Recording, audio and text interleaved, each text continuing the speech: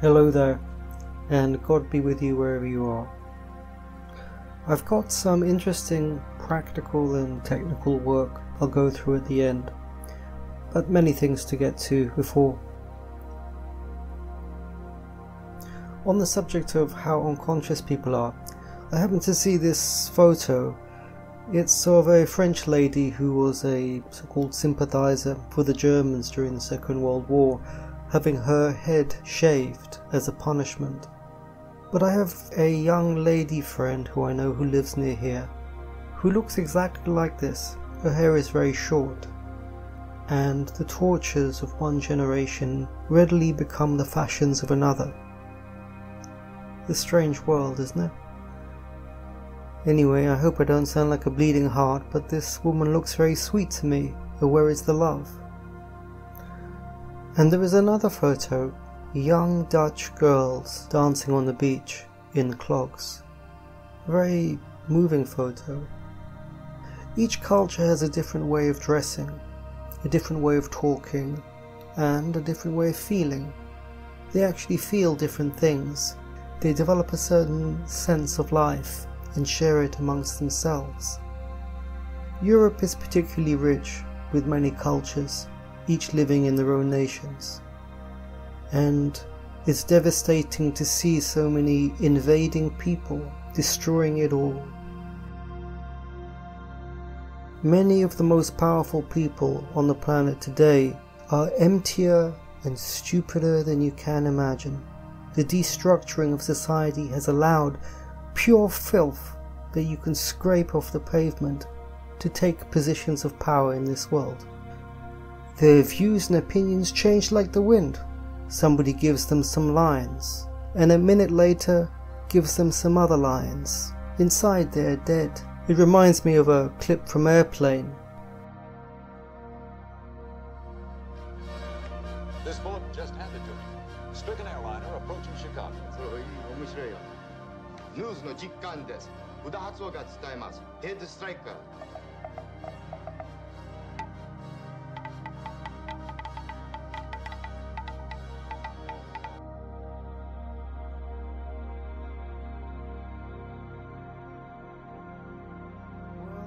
I learned this week that 850,000 years ago there were men in Britain.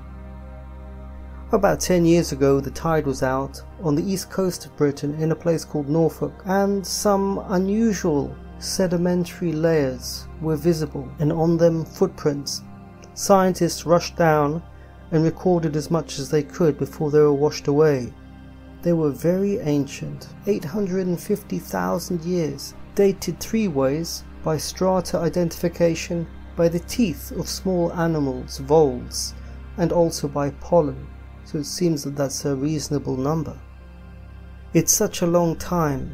If we are concerned with Atlantis, maybe 10 or 15,000 years ago, what does it mean that people walked here, lived here, had families here such a long time ago?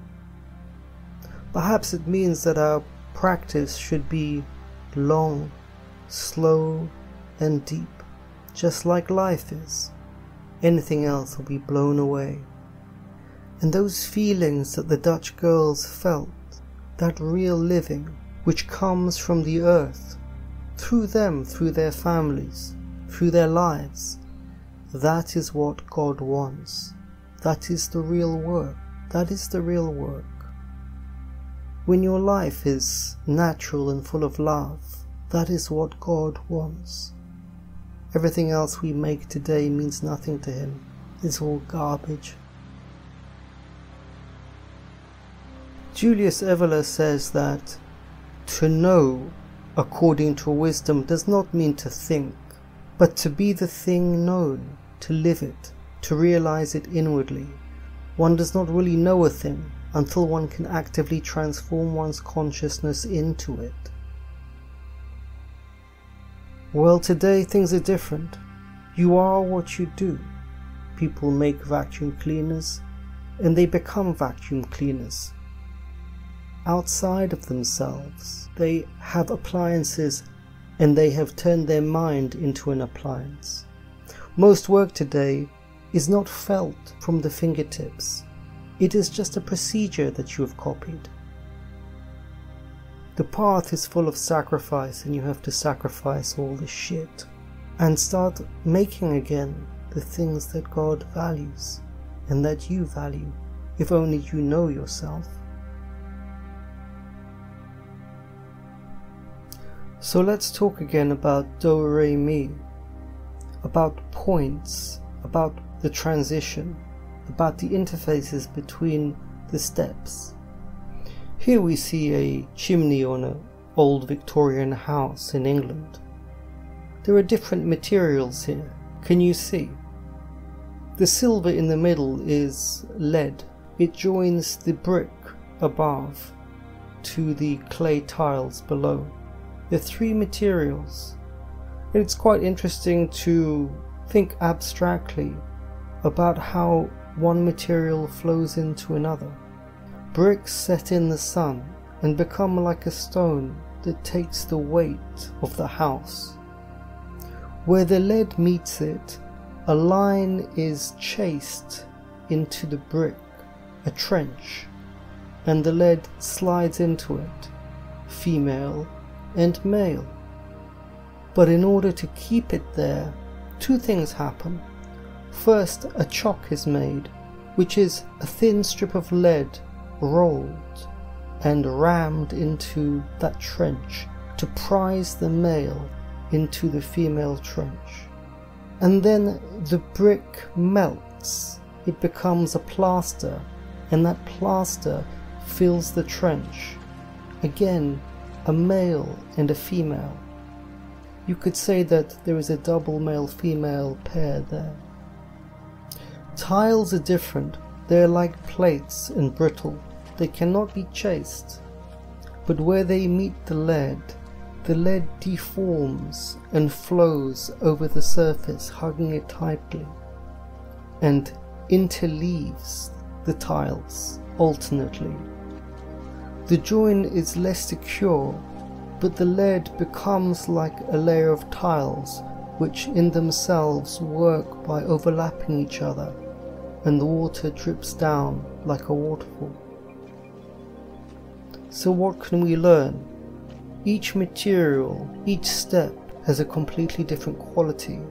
Where they join together, special things happen. Sometimes they mate, male female, and sometimes one deforms to take on the characteristics of the next to assist the join. Gurdjieff talks of the moving center, the emotional center, and the mental center. And when they meet each other, they must find a way to interface.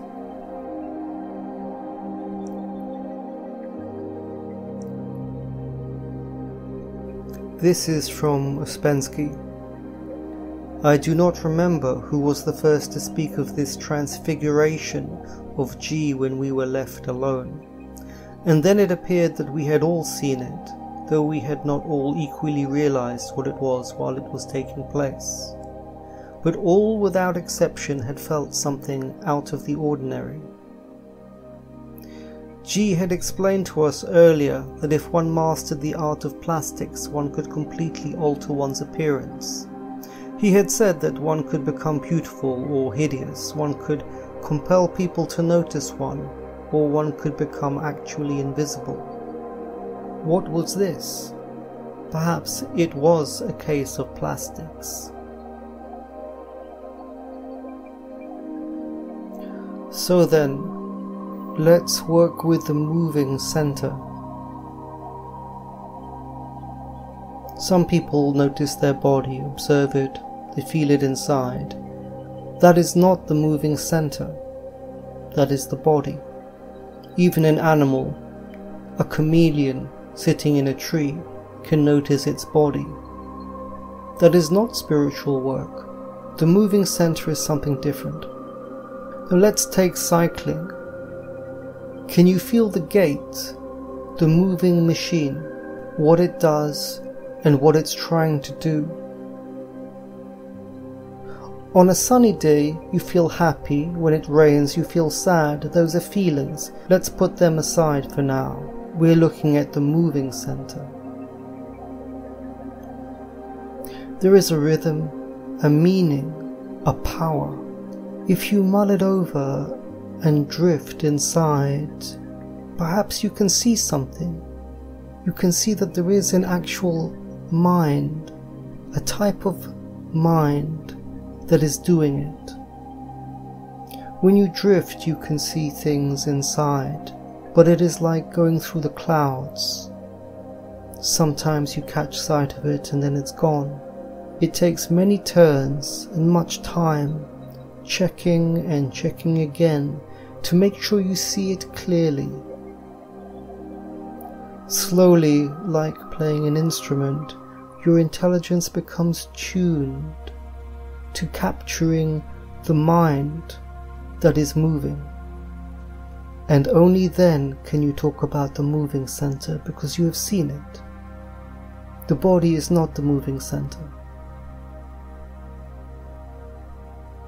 And once you see it, sense your foot at the same time. Is the moving center in the foot? Now sense your head. Is the moving center in the head? It will take time to develop the ability to notice where the moving center is because everything that we do and experience comes from a particular location in one of the bodies. Do you know where it is? Well, keep looking then. There is no shortcut to evolution. It takes time. In any attempt to make that time shorter, you just rob from yourself. It's not like that. These subjects are very secret and beyond the ability or interest of almost everybody on the planet. But for some, it is a great elation. If you can localize the moving center, then maybe you can as if merge with it somewhat, so you have more the sense of being inside.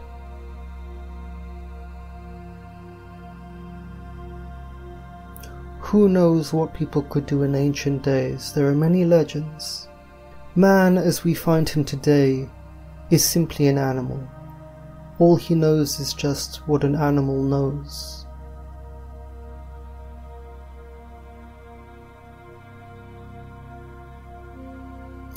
When I take the host on Sunday, I've created a new ritual.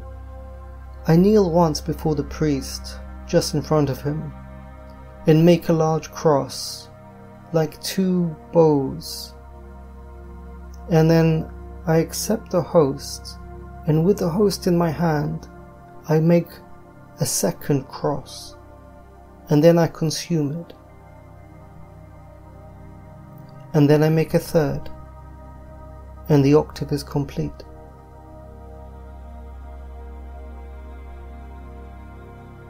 There are many things that need to be brought back to life. And it's always like that, as this planet likes to sleep and likes to dream.